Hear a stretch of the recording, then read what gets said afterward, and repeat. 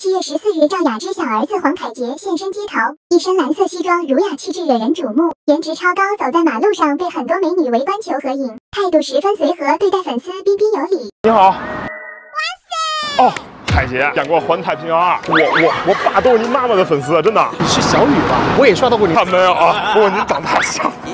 哎，有空来家里玩，没没问题啊，没问题。啊不少网友感叹长得好帅，和妈妈赵雅芝好像。据悉，黄凯杰是赵雅芝最小的儿子，是她与第二任老公黄景生所生，也是颜值最高的儿子，经常和妈妈一起出席活动，母子俩面容颇有几分相似。黄凯杰还拍过多部影视剧，包括《问天录之少年钟馗》以及最新版的《新白娘子传奇》。目前，黄凯杰已经结婚，两人异地恋八年修成正果。作为新二代，黄凯杰可谓是相当低调了。祝他事业越来越好，一家人幸福美满。